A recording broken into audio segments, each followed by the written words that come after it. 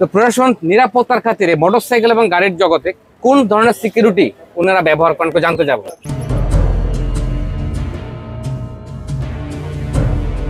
বাইশ ডিসেম্বর দু রাত আড়াইটা। গেটের তালা ভেঙে দুইজন প্রবেশ করে রাজধানীর পাইকপাড়ার একটি বাসার গ্যারেজে।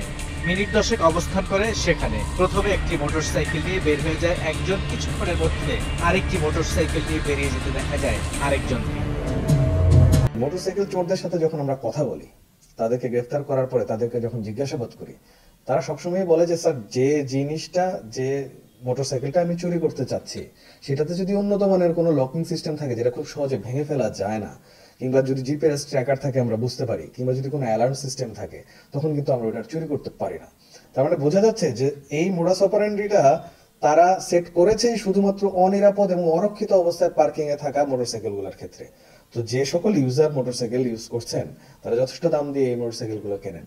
তারা যদি এই সিকিউরিটি অ্যারেঞ্জমেন্টের জন্য মিনিমাম একটু ইনভেস্ট করেন, একটু উন্নত মানের লক লাগান, একটা জিপিএস ট্র্যাকার লাগান বা একটা অ্যালার্ম সিস্টেম এটার মধ্যে ইনকর্পোরেট করেন, তাহলে কিন্তু মোটরসাইকেল চুরি অনেকাংশে কমে যায়। যেহেতু গত এক ডিকেটে শুধুমাত্র যে জসিমকে আমরা গ্রেপ্তার করলাম, সে একাই কিন্তু মানে পাঁচ শতাধিক মোটরসাইকেল সে তার চক্রের মাধ্যমে চুরি করতে সক্ষম হয় একটা তিন থেকে চার লক্ষ টাকা দামের মোটরসাইকেল যখন চুরি হয়, তারা এই চোর যখন প্রথমে বিক্রি করে, সে কিন্তু ত্রিশ থেকে চল্লিশ হাজার টাকার বেশি বিক্রি করতে পারে না। আপনারা মাত্র যে ভিডিওটা দেখলেন, তো প্রশাসন কি বলছে? কোন সিকিউরিটি সিস্টেম গাড়ি এবং মোটরসাইকেলের জন্য বা যে কোনো যানবাহনের জন্য সর্বোচ্চ শক্তিশালী? সেটা আমরা জানব।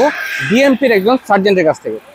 সালাম আলাইকুম। আজকে আমরা জানব যে প্রশাসন যারা কাজ করে তারা নিরাপত্তার খাতিরে সবচেয়ে সক্রিয়। তো প্রশাসন নিরাপত্তার খাতিরে মোটরসাইকেল এবং গাড়ির জগতে কোন ধরনের সিকিউরিটি ওনারা ব্যবহার করেন জানতে যাব আমি সার্জেন্ট মঞ্জুর। সার্জেন্ট মঞ্জুর। ডিএমপিতে কর্মরত। জি।